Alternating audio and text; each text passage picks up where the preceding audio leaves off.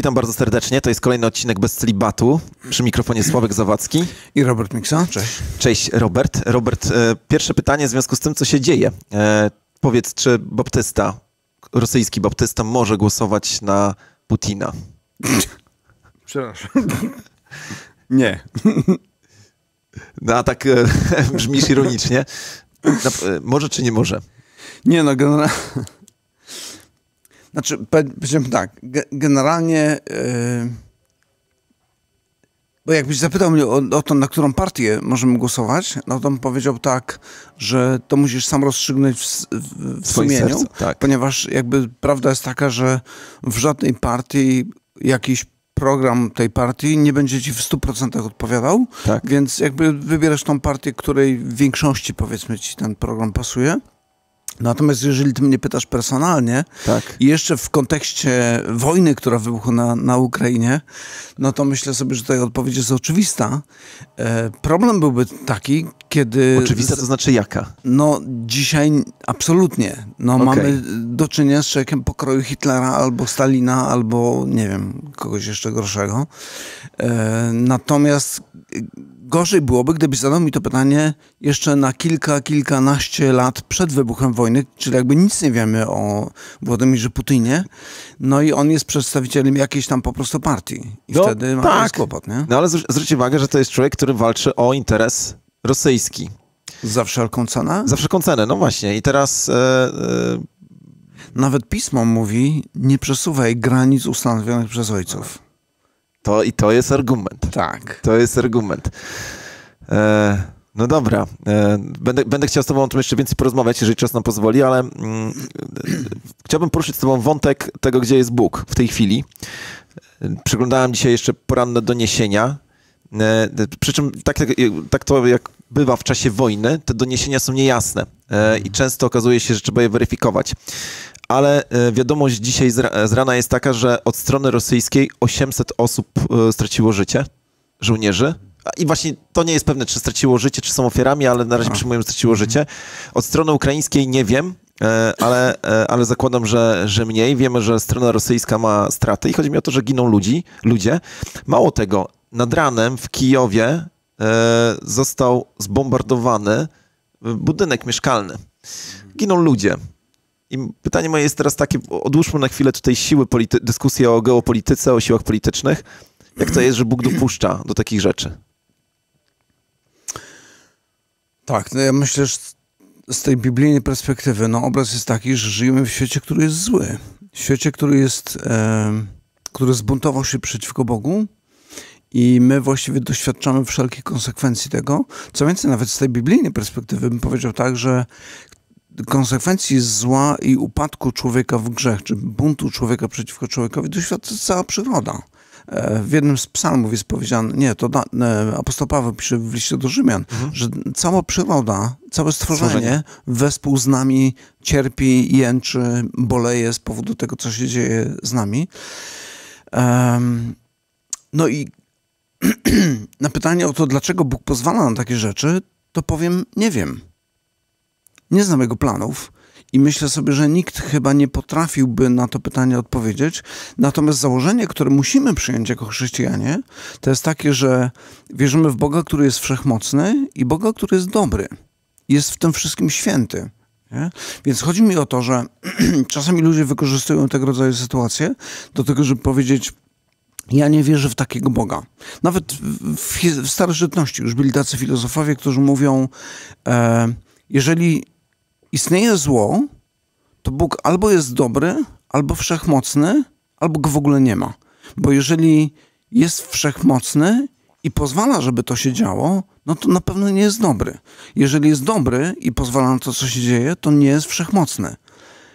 A okay. może w ogóle go nie ma takiego Bogu. Ale, ale Boga, ale w, te, w tym założeniu, znaczy w tym takim sylogizmie powiedzmy, brakuje jakby pełni obrazu tego, w jakiego Boga my wierzymy. My wierzymy w Boga, który jest wszechmocny, jest dobry, ale jest też wszechwiedzący. Jego mądrość jest daleko, daleko większa niż nasza i on w swoim czasie jest w stanie nawet najgorsze rzeczy obrócić ku dobremu. I teraz najważniejsza kwestia byłaby taka. Fakt, że ty nie potrafisz wyobrazić sobie, że cokolwiek dobrego może wyniknąć z faktu tego, co się dzieje złego na świecie, nie oznacza, że nie może tak się stać. Jeżeli Bóg w swojej mądrości, wszechwiedzy i w swojej dobroci i świętości pozwala na takie rzeczy, widocznie w pewnej perspektywie to dobro może się pojawić, no, chociaż może go nie rozumiemy teraz. Właśnie. No i, teraz zobacz, że jeżeli tak jest, jak mówisz, to może się okazać, że jest to teza niefalsyfikowalna. To znaczy nie mhm. jesteśmy w stanie jej sfalsyfikować, a przez mhm. to jest niedyskusyjna. To jest ktoś tam kilka wieków temu wymyślił, e, mhm. że to, to musi być, bo, bo w gruncie rzeczy zawsze możemy powiedzieć, e, słuchaj, nie rozumiesz. I teraz mhm. E, skąd, przy, za, jako aksjomat przyjmujesz to, że Bóg jest dobry i że mhm. Bóg jest wszechmogący. To są mhm. dwa aksjomaty, czyli dwa założenia, mhm. co do których w tej chwili jakby nie przedstawiamy dowodów, możemy tak. o nich dyskutować i my mówimy, skoro jest tak i tak, to na pewno jest jakieś wytłumaczenie, dlaczego to wszystko się dzieje, e, ale my go nie rozumiemy. I mhm. chodzi mi o to, że w rozmowie z osobą, która ma wątpliwości, no to, to, nie, to nie jest argument. No nie, to jest argument być może wobec mnie, jako osoby wierzącej, wobec mhm. ciebie. Czy jesteśmy w stanie dać jakiś, jakąś argumentację? Tak. Ja bym powiedział tak. A jaką mamy alternatywę? Mamy alternatywę taką, albo wierzymy w Boga, który jest dobry, święty, wszechmogący i wierzymy, że to, co się dzieje na świecie, te, te negatywne aspekty, te złe aspekty, one mogą doprowadzić do czegoś dobrego i wierzymy, że doprowadzą, albo Boga nie ma. I wtedy mamy jeszcze gorszą sytuację, bo wtedy zobacz, jeżeli Boga nie ma, to dlaczego w ogóle to, co dzieje się, przeszkadza ci? Dlaczego jest tak, że to cię gdzieś tam boli, że pojawia się coś, co ty nazywasz złem? Dlaczego to mamy nazywać złem? Jeżeli nie ma kogoś, kto jest większy niż my, to każdy z nas ustanawia swoją moralność. Putin ma swoją moralność i to, co on robi, jest dobre. Ale z perspektywy tej szerszej niż tylko perspektywa jednego człowieka albo jednego narodu, to, co robi Putin, jest niesprawiedliwe, jest złe po prostu, nie? No tak. I teraz, e, jak rozumiem, chodzi ci o to, że e, jeżeli ja przyjmuję, że Boga nie ma, to skąd mam normę dobra? Mhm. Tak? E, tak a czy nie mogę założyć, że istnieje dobro bez Boga? Ale skąd ono by się wzięło? Skąd takie pojęcie? Materia je stworzyła? Nie wiem. to, to, ja zadaję tutaj pytania. Tak. Ja pa no. pamiętam, że wiesz co, argument, czy taki sposób myślenia jest, jest Luisa, tak. który się zastanawiał na tym, ponieważ dla, dla niego istnienie zła było największym problemem, z którym musiał się rozprawić. Tak. I on, um, nawet tu gdzieś mam taki cytat jego, może przeczytam jego fragment, on mówi tak, Mój własny argument przeciwko Bogu zasadzał się na tym, że wszechświat wydaje się bardzo okrutny i niesprawiedliwy. Ale skąd wzięła się u mnie idea sprawiedliwości i niesprawiedliwości? I teraz mówi tak: nikt nie może nazwać linii krzywą, o ile nie posiada jakiegoś pojęcia linii prostej.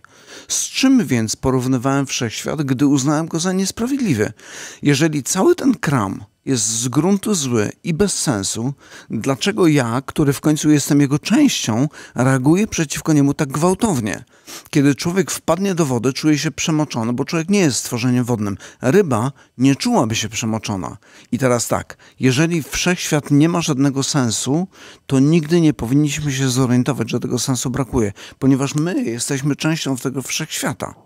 Innymi słowy, to powinna być naturalna część naszego życia mhm. i w ogóle jakby nie mamy żadnych pytań.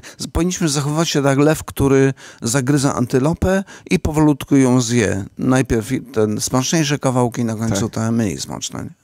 Jakby nie, nie ma żadnych wyrzutów sumienia. Ale my mamy te wyrzuty, więc pytanie, skąd one się biorą? No myślę, że stąd, że te myśli są z innego świata. Od innej osoby, która jest poza tym wszechświatem. Nie? Rozumiem. Czyli podsumowując Twoją odpowiedź w jednym zdaniu, e, e, Bóg dopuszcza do tego, bo jest jakieś moralne uzasadnienie, którego my nie znamy. Czy dobrze powiedziałem? Tak Chyba byś... powiedział jakiś wyższy, wyższy, inny cel, tak. którego my nie znamy, nie rozumiemy do końca. Możemy się domyślać niektórych rzeczy, ale to wszystkiego nie wiemy. Wiesz co, pamiętam jak na jednej z konferencji, nie wiem czy myśmy o tym rozmawiali tutaj, e, ale na pewno rozmawiałem o tym z tobą kilka razy. E, chodzi mi o Rawiego, Rawi Zacharias, dobrze wymawiam jego imię? Zacharias. Zacharias, Mhm. tak. E, No on powiedział e, kiedyś o, e, o czymś takim, że mm, jakby zło i to wszystko, co się dzieje, jest w gruncie rzeczy dowodem na miłość Boga. I jego ślad myślenia jest następujący. E, e, Czy, czy może istnieć, istnieć, istnieć miłość, która wynika z przymusu? On mówi, że nie, że jeżeli kogoś kochamy, to kochamy go dobrowolnie, e, bo gdyby ten ktoś nas zaprogramował, e, to, no to to by nie była miłość. I e, jakby Bóg, który stworzył świat, dał człowiekowi prawo do tego, żeby odrzucić miłość Boga, innymi słowy, żeby wybrać grzech albo nie grzech, tak? I myśmy wybrali oczywiście tą drogę grzechu, jako gatunek e, i ponosimy teraz tego wszelkie konsekwencje. Bóg, który jest miłością, nie programuje nas nagle w taki sposób, że jednak e, przestajemy w magiczny sposób tutaj grzeszyć. Ponosimy konsekwencje, bo jest to dowód na Jego miłość. E, No. i, e, I to dla mnie jest, no, ta, jakby ta argumentacja mnie przekonuje Tak. nie tylko jakby na poziomie intelektualnym, bo to, co powiedziałeś wcześniej, mnie to przekonuje na poziomie intelektualnym. Ja to rozumiem i się zgadzam, natomiast w sercu gdzieś tam, serce nie zawsze idzie za rozumem. E, je, wiesz, o co mi chodzi, no? Tak, no wiesz, to ja bym dodał wtedy jeszcze coś do tego. To znaczy, chodzi mi o to, że kiedy myślimy sobie o tym świecie, w którym dzieje się zło, to myślimy sobie, dlaczego Bóg pozostaje obojętny. Takie pojawiają się pytania Tak. i nawet zarzuty. I wtedy powiedziałbym tak, e, czy rzeczywiście pozostaje obojętny? Kiedy spojrzymy na historię e, przez pryzmat Pisma, to zobaczymy, że Bóg od samego początku jest wybawicielem. Ratuje swój lud. I kiedy patrzymy na historię przez pryzmat świąt Bożego Narodzenia, to zobacz, co widzimy. Widzimy Boga, który zniża się, wyciąga rękę do nas, staje się taki jak my, staje się zabijalny, pozwala, żeby go zabito, No po tak. to, żeby nas ocalić i to ocalić przed wiecznym potępieniem z powodu naszych win, z powodu naszego zepsucia. Więc jakby e, cokolwiek by powiedzieć, to nie można powiedzieć, że Bóg jest obojętny na to wszystko, ponieważ On sam osobiście się angażuje i powiedziałbym więcej, w żadnej religii tego nie znajdziesz. To jest tylko w chrześcijaństwie. Bóg, który staje się jak ty, który zniża się do ciebie, żeby cię ratować. No dobra, a to y, zrób, właśnie powiedziałeś o tym, że To Bóg ten nie jest... wątek emocjonalny, Tak. którego ci brakowało poprzednim. Tak, to, nie, no, to, to oczywiście. Em, ale chciałem poruszyć jeszcze jedną kwestię. E, właśnie Boże obojętności, bo e, właśnie czytamy o Bogu, że to są te fragmenty, o których nie lubimy mówić, że Bóg jest mściwy.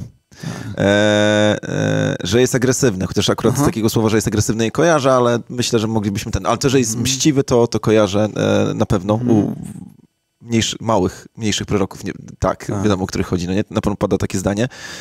E, I to chyba świadczy o tym, że on właśnie jest nieobojętny, że przyjdzie moment rozliczenia. Tak. E, no to jeszcze chciałbym się ciebie zapytać, jak wielką Bożą miłość połączyć z tym, że Bóg skaże e, ostatecznie istotną część ludzkości na potępienie? Bo w Chyba kościele prawosławnym, w kościele No. prawosławnym jest doktryna apostazji, jakoś e, tak, Mhm. e, mówiąca o tym, że e, wybaczenia doświadczy nawet sam szatan. No mi trudno to sobie wyobrazić. To znaczy. Chyba nie mam takiej gotowej, prostej odpowiedzi, żeby to dało się w jednym zdaniu ująć. Um, a ty masz jakieś przemyślenia w tej sprawie? Ja Może myślę, że Bóg, który jest doskonały, Mhm. e, e, jest i, i doskonale też kocha, nie może dopuścić do tego, że, e, że na przykład ci, którzy nie doświadczyli Jego wybaczenia i na przykład byli przez całe życie źli, krzywdzili innych i tak dalej, to wtedy, kiedy ja, który doświadczyłem Jego odkupienia, stanę przed tronem Bożym, będę widział, że ten człowiek, który nie, nie nawrócił się, nie przyszedł do Chrystusa, był gwałcicielem i, i mordercą, i jakbym zapytał się Boga, Boże, czy to było sprawiedliwe? Że two... ja przyszedłem do Twojego syna, oczywiście przyszedłem, bo Ty mnie powołałeś, to jest inny temat, ale czy to jest objaw Twojej miłości, że Ty przychodzisz i mówisz temu człowiekowi, który nie, nie, nie dał się obmyć Twoją krwią, krwią Twojego syna, że Ty mówisz, mimo wszystko Ci wybaczam. I myślę sobie, że byłoby to niedoskonałe i nie byłoby to objawem miłości, że właśnie potępienie, chociaż brzmi to strasznie, no nie, że potępienie e, realizowane przez doskonałego Boga jest objawem Jego doskonałej sprawiedliwości doskonałej miłości. To. Znaczy, no, Tak. Sorry, wiesz, kiedy tak. mówiłem, że nie mam gotowej odpowiedzi, ja myślałem on na poziomie takim ontologicznym, czy tam filozoficznym i to, i to jest pewna zagadka dla mnie. Chyba powiedziałbym tylko tak, że zło i dobro wymagają oddzielenia i wymagają ostatecznego oddzielenia i to oddzielenie musi nastąpić. Natomiast te obrazy, o których my myślimy, kiedy pojawia się hasło piekło, niebo, które przychodzą nam do głowy, stworzone przez kulturę naszą, czy średniowieczną, czy jakąkolwiek jeszcze, czasami wprowadzają nas w błąd i myślę sobie, że um, na przykład, kiedy myślimy o, o piekle i niebie, o tych, którzy będą w wiecznej społeczności z Bogiem, wiecznie szczęśliwi i tych, którzy będą wiecznie oddzieleni od oblicza Bożego, bo też takie sformułowanie apostoł Paweł używa, to myślimy sobie o, o na przykład matce, która z powodu tego, że jego dziecko, jej dziecko zrobiło coś złego, na przykład daje mu jakąś karę i mówi, nie będziesz mógł, nie wiem, tam tak. oglądać bajki. Tak. Ale ona nigdy nie powie czegoś takiego, nie będziesz mógł oglądać tych bajek do końca życia. Tak. Nie? I kiedy mamy taki obraz przychodzi nam do głowy, to myślimy sobie, no nie no, żadna matka by tak przecież nie zrobiła, żeby zabroniła dziecko do końca życia albo powiedziała, do końca życia już się nigdy nie przytulę. Więc te, te obrazy powodują to, że e, my mamy jakiś galimatias w głowie i problem. Natomiast w sensie takim filozoficznym czy teologicznym bym powiedział tak, że zło i dobro wymagają wiecznego i ostatecznego oddzielenia. I to ostateczne oddzielenie będzie miało miejsce przez właśnie tą ideę piekła i nieba, e, i chyba nie powinniśmy korzystać z tych obrazów, które mogą wprowadzać nas w błąd albo dawać takie fałszywe wyobrażenia o tych miejscach.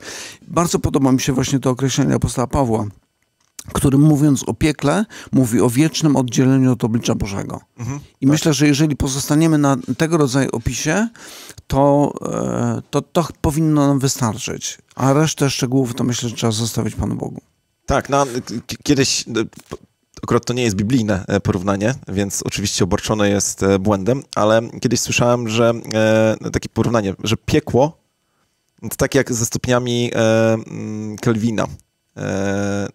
Piekło to jest miejsce, gdzie nie ma po prostu dobra, gdzie mm. nie ma Boga, E, a niebo to jest miejsce, gdzie Bóg jest po prostu w pełni mm. obecny. Tutaj na ziemi, bez względu mm. na to, czy jesteśmy wierzący, czy nie, wszyscy mm. doświadczamy Bożej obecności. Tak. No bo przecież czytamy o tym, że słońce wschodzi nad złymi i dobrymi. Tak. E, natomiast piekło w gruncie rzeczy będzie równie sprawiedliwe, dlatego że będzie zgodne z wyborem ludzi niewierzących, którzy tak. mówią, chcieliśmy żyć bez Boga, tak. to dostaniecie to, tak. Czy dostaną te osoby to, na co liczyły przez całe Ciekawe, swoje życie. C.S. Lewis używa e, podobnego, ma podobny sposób myślenia. On mówi, jakby ostate, ostatecznie ludzie będą dzielili się na tych, którzy mówią do Boga, niech będzie wola Twoja, i ci, do których Bóg mówi, niech będzie wola Twoja. Nie? I tak, to myślę, bardzo że dobre. fajnym podsumowaniem tego. No dobrze. Za nami 20 minut y, tego odcinka, wow. zatem musimy kończyć. Dziękuję, Robert, i co, zapraszamy na kolejny odcinek. Za tydzień. Za tydzień. Dzięki. Hej.